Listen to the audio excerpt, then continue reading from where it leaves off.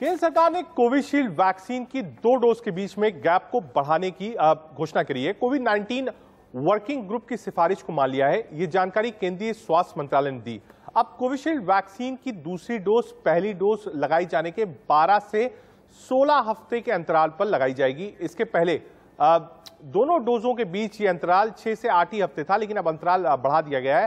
हालाँकि दूसरी vaccine, Covaxin की दोनों डोजेस के बीच के अंतराल में कोई बदलाव नहीं है। यानी चार से पाँच हफ़्ते के बीच में अगर आप कोविड पॉजिटिव नहीं होते हैं और कोई संक्रमण नहीं होता है तो ये चार से पाँच हफ़्ते के बीच में कोवैक्सीन आपको लगाई जाएगी। लेकिन कोविशील्ड के लिए जो समय था, जो अंतर था दूसरी डोज का, उसको सरकार ने बढ़ाने का फैसला किया है। हमारे साथ खास मेहमान जुड़े हैं डॉक्टर दीपक गुप्ता न्यूरोसर्जन हैं एम्स के। डॉक्टर साहब, बहुत स्वागत है आपका। डॉक्टर दीपक गुप्ता डॉक्टर साहब, एक एक सवाल जो सभी के मन में है और खास तौर से उन लोगों के मन के अंदर जिन्होंने दो हफ़्ते और तीन हफ़्ते पहले कोविशील्ड की पहली डोज ली है।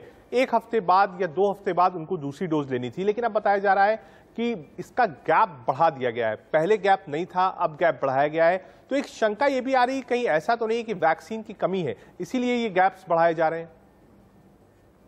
देखिए कल जैसे आपने स्वास्थ्य मंत्रालय का बयान सुना था डॉक्टर वीके पॉल ने बहुत क्लियर शब्दों में बताया था कि डब्ल्यू एच ओ के एक्सपर्ट्स के साथ ये मीटिंग हुई है और उसमें जितना भी डेटा निकल के आया है मेनली फ्रॉम द इंग्लैंड उस डेटा में यही निकल के आया है कि अगर आप वैक्सीन की डोज के इंटरवल को बढ़ाते हैं तो उससे पेशेंट की जो इम्यूनिटी है वो हाँ। ज़्यादा लंबे टाइम तक लास्ट करेगी।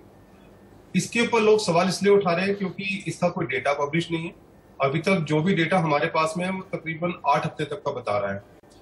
हालाँकि एक बात मैं ज़रूर कहना चाहूँगा कि कई मरीजों में हमने ब्रेक थ्रू इन्फेक्शन देखे हैं। आमतौर पे जो लोग अपनी सेकेंड डोज लगवाने आते हैं उस समय उनको इन्फेक्शन हुआ होता है और उसके बाद में कुछ दिनों के बाद में उनको फ्रैंक कोविड इन्फेक्शन हो जाता है। तो इसका कहने का तात्पर्य ये है कि हमारे कुछ लोग ऐसे होते हैं जिनके अंदर एडिक्वेट इम्यूनिटी डेवलप नहीं होती एक डोज के बाद में। सो अगर आप डोज के इंटरवल को बढ़ा रहे हैं तो मेरा अ, कहना ये रहेगा कि आप अपने आप को जितनी भी कोविड की प्रिकॉशंस है वो आप उसको लीजिएगा। यानी कि डॉक्टर गुप्ता बड़ा सवाल ये है जब जब वैक्सीनेशन प्रोसेस हिंदुस्तान में खासतौर से शुरू हुआ तो उस वक्त कोवैक्सीन कोविशील्ड दो वैक्सीन हमारे पास थी। हमने वैक्सीनेशन प्रोसेस देश में शुरू किया।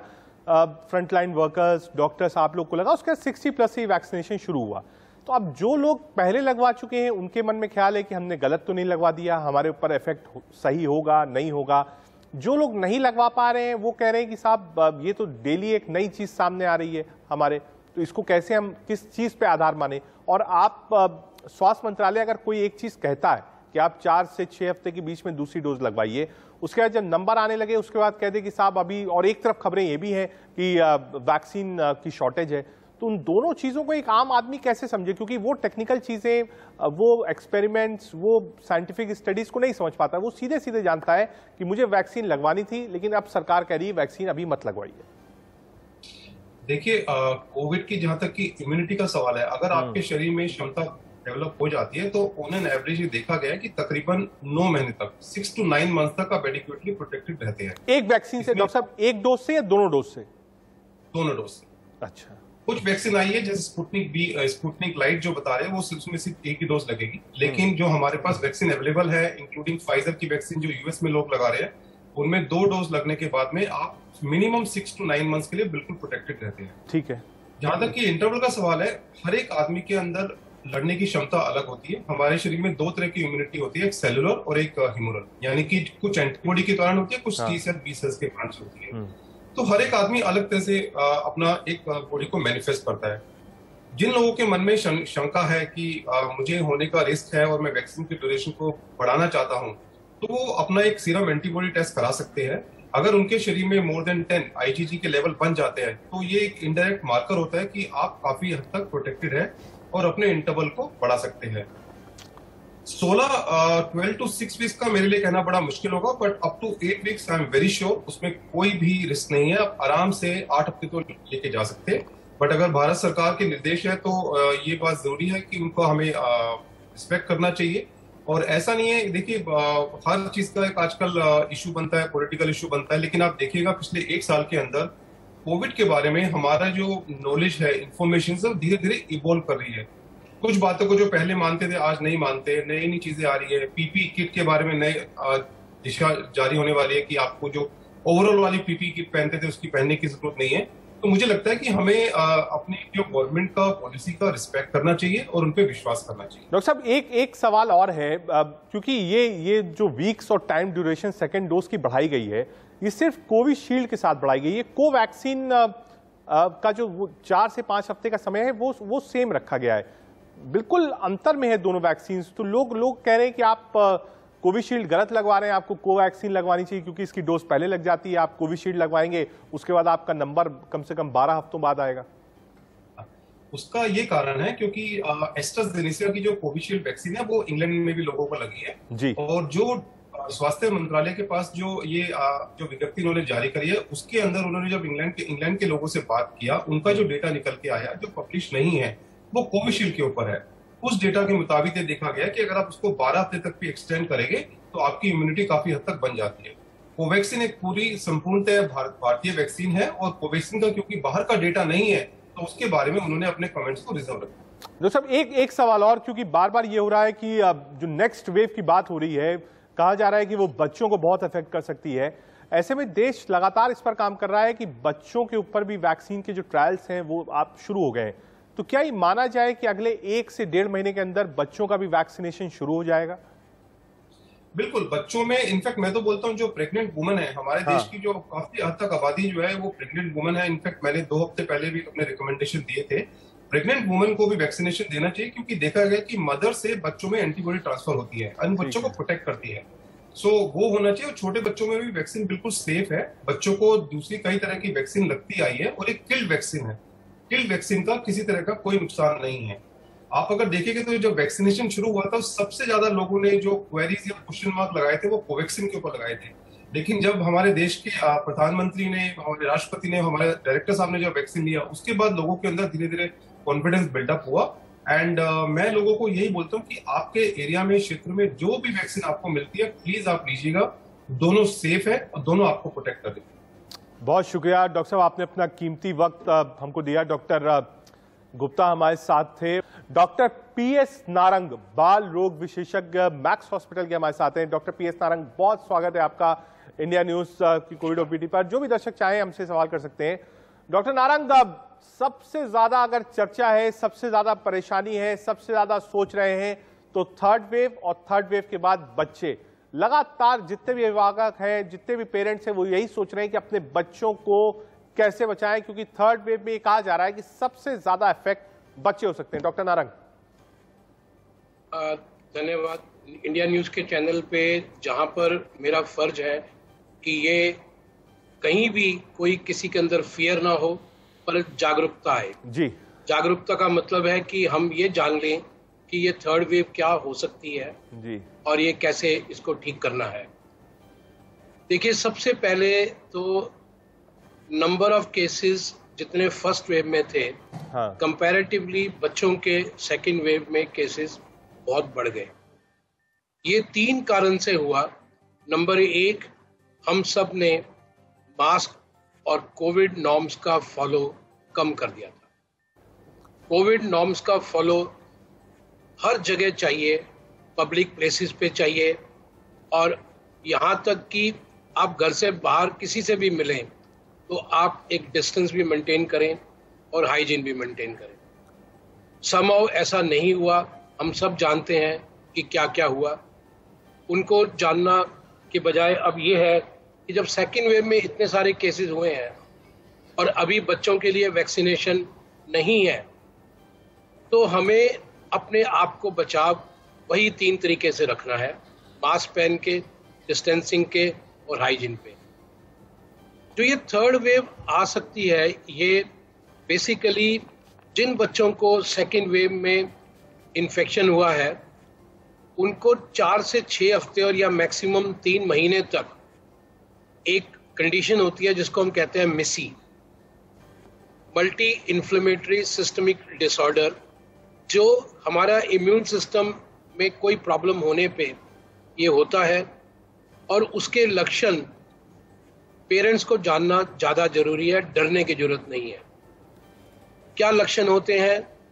बुखार आता है, तेज बुखार आता है आईज में रेडनेस स्वेलिंग हाथ पाँव पे स्वेलिंग और बच्चा अनयूजली ज़्यादा ढीला पड़ता है, उसके हाथ पैर ठंडे पड़ना, क्योंकि इसमें मल्टी सिस्टम की वजह से हार्ट भी इन्वॉल्व होता है और हार्ट की पंपिंग कमज़ोर हो जाती है। तो अगर बच्चा ज़्यादा ढीला लगे, उसको फीवर आ रहा है और कोई भी बॉडी पे स्वेलिंग रैशेज या आइज़ में रैशेज या आइज़ में स्वेलिंग है तो तुरंत डॉक्टर से सलाह करें। इसमें बच्चे को एडमिट करके अगर बहुत जल्दी दवाइयाँ दे दी जाए तो इसको कंट्रोल किया जाता है। डॉक्टर साहब, एक एक चीज़ समझना चाहूँगा, क्योंकि आप लोगों के मन में ये बहुत सवाल है। आपने सही कहा कि जो सेकेंड वेव थी, इसमें बच्चे भी इन्फेक्ट हुए हालाँकि बहुत जल्दी बच्चे ठीक भी हुए रिकवरी रेट बहुत अच्छा रहा। डॉक्टर साहब, बच्चे तो लगभग डेढ़ साल से घर से बाहर गए नहीं हैं। ना पार्क जा रहे हैं, ना किसी से मिलने जा रहे हैं। बच्चे परमानेंट घर में तो ये मैं मान सकता हूँ कि जिसके घर से कोई व्यक्ति बाहर जॉब करने जाता होगा, वो वो अपने साथ इन्फेक्शन कैरी कर सकता है और ला सकता है। ऐसे में बच्चों को घर पर सेफ़ कैसे रखें, उनकी इम्यूनिटी कैसे बढ़ाएँ, इसके लिए पेरेंट्स क्या करें? इम्यूनिटी बढ़ाना देखिए, एक फिजिकली एक्सटर्नल असॉल्ट से इम्यूनिटी बढ़ानी है और एक इंटरनल एक्सटर्नल असॉल्ट से जो इम्यूनिटी बढ़ती है, बेटे, वो हाइजीन से ही होती है मास्क से ही होती है। क्योंकि आपने अपना को बचाना है अगर किसी को भी जरा से लक्षण हो देखो बच्चों में ज़रूरी नहीं कि लक्षण तेज बुखार जैसे आपने कहा बहुत माइल्ड सिम्टम होते हैं और अप टू 80 परसेंट तो कई बार सिम्टम भी नहीं होते हैं हाँ। तो अगर बच्चे में हल्का सा भी लूज मोशन हुआ है पेट दर्द हुआ है या बच्चे ने कोई बॉडी एक हेडेक भी कही है तो उसको आइसोलेट करना और उसकी टेस्टिंग कराना ज़रूरी है। मैंने तेरह दिन के बच्चों को भी टेस्टिंग में पॉजिटिव पाया है। हम्म। जबकि बच्चों कई लोग पेरेंट्स सोचते हैं कि बच्चों में होता ही नहीं है। बच्चों में होता है पर क्योंकि बहुत माइल्ड होता है तो वो कई बार इग्नोर हो जाता है। मैं आपको एक बहुत सिंपल सा एक किस्सा बता रहा हूँ। मुझे फ़ोन आया कि घर में सभी को कोविड है और हमारी छः साल की बच्ची को कोविड से कैसे बचाएँ? उसकी इम्यूनिटी कैसे बढ़ाएँ?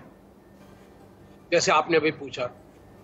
तो बेसिकली जब ये उनसे पूछा गया कि भाई बच्चे में कोई प्रॉब्लम हुई थी लीडिंग क्वेश्चन देने पड़ते हैं तो बोला गया, उन्होंने बताया कि बच्चे को एक हफ़्ता पहले सिर्फ़ एक दिन के लिए लूज मोशन हुए थे, पेट खराब हुआ था, क्योंकि इसने कुछ अलग खा लिया था, गलत खा लिया था। एक्चुअली वो बच्चा कोविड पॉजिटिव हुआ और वो एक दिन में ठीक हो गया, परंतु घर के तेरह के तेरह मेंबर अफेक्टेड हो गए। तो आज हमें ये सोच के चलना है कि सिर्फ़ हेडेक भी सिम्टम है, सिर्फ़ पेट दर्द भी सिम्टम है, और एक हल्के से माइल्ड लूज मोशन या खांसी भी सिम्टम है। इंटरनल इम्यूनिटी बढ़ाने के लिए यस मैं टोटली एग्री करूँगा, जो बच्चे अनिमिक हैं, जो बच्चों में vitamin D B twelve folic acid की डेफिशिएंसी है, उनमें संक्रमण ज़्यादा सीवियर होता है। ना होना तो फ़िज़िकल से है। इंटरनली अगर उनकी डेफिशिएंसी है तो उसको पूरा करना ज़रूरी है। But at the same time आप ये इम्यूनिटी बूस्टर ये मान के मत सोचो कि इनसे सब कुछ बच जाएगा। ठीक है। डॉक्टर नारायण एक एक बात ठीक है आप, आपने बताई। अब अब जो बात डिस्कस हो रही है डॉक्टर साहब वो ये हो रही है कि वैक्सीनेशन के इस प्रोसेस में बच्चों को कैसे लाया जाए? ट्रायल्स इसके शुरू हो गए आप एज अ पीडियाट्रिशियन कैसे इसको आप देखते हैं कि बच्चों को वैक्सीनेशन हो? किन एज ग्रुप्स के बच्चों को वैक्सीनेशन देना चाहिए? देखिए वैक्सीनेशन बच्चों के लिए भी बहुत ज़रूरी है। अभी होता क्या है कि जब भी ट्रायल्स होते हैं हम्म। तो वैक्सीन के ट्रायल बच्चों पे सेफ्टी नॉर्म्स के अंडर अलाउ नहीं होते। जब तक उनकी सेफ्टी नॉर्म्स अडल्ट और बाकी पॉपुलेशन पे ना देख ली जाए। फाइजर की वैक्सीन का अब 12 ईयर प्लस पे अलाउ हो गया है और 12 ईयर प्लस में भी वैक्सीनेशन बाहर शुरू हो गया है।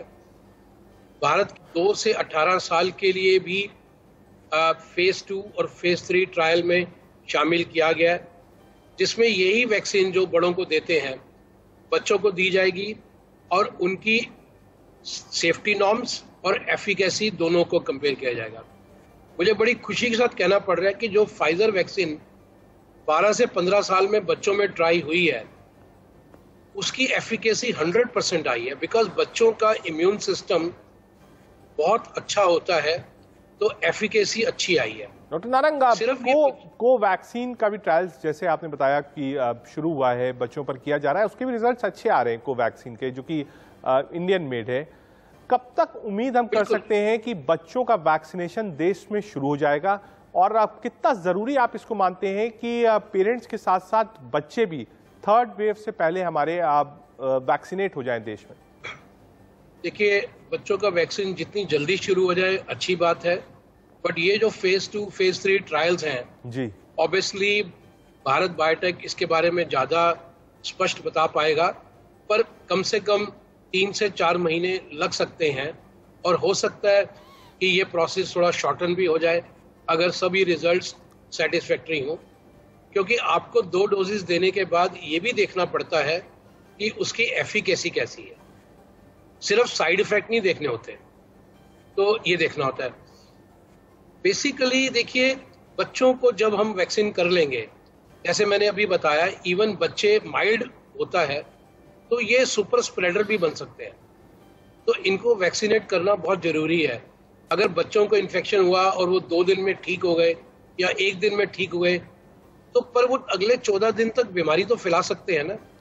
तो इनको वैक्सीनेट करना बहुत ज़रूरी है।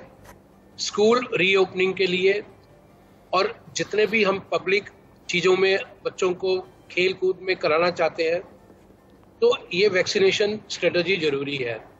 पर किसी भी प्रोसेस को फास्टर नहीं किया जा सकता सेफ्टी के आगे। सेफ्टी बहुत ज़रूरी होती है। डॉक्टर नारंग जो बच्चे घर पर हैं ठीक है, ये वेव आएगी जाएँगी और इसके बाद भी कई और वेव्स आएँगी, लेकिन अमूमन घर पर जो बच्चे रह रहे हैं, उनको क्या ध्यान उनका रखना चाहिए कि कम से कम, ठीक है, आपने बताया हाइजीन हो इम्यूनिटी बढ़ाएँ फ़िज़िकल एक्सरसाइज करें और क्या क्या चीज़ उनको दे सकते हैं जिससे आप कि, कि पहले से आप एहतियात बरत सकें। मतलब हम इंतज़ार ना करें उसके पहले हम उसके लिए बिल्कुल प्रिपेयर रहें कि वो वेव हमारे बच्चों को ना छू पाए। देखिए आपका ये क्वेश्चन जो है बहुत अच्छा है और विशफुल थिंकिंग यही है कि कोई भी बच्चा कभी भी बीमार ना पड़े। जी।